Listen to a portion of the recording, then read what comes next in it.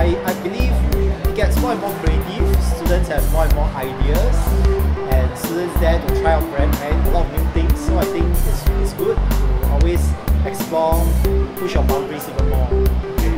Uh, of course, a bit biased. Perhaps I can say the last Victoria Challenge, my own form class. The students were just in Sec 1 and they um, painted on pieces of cloth then after that they piece up their whole huge, all the cloth into a huge um, collage, into like a quilt and um, form the word VS. Hi everyone!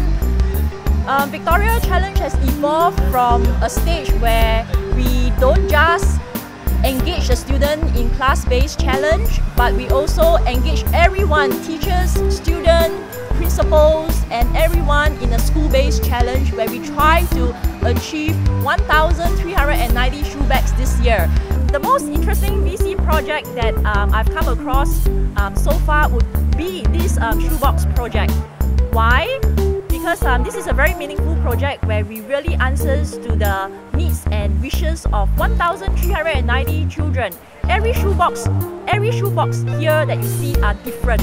Alright, they consist of toys, stationaries, educational puzzles, things like that.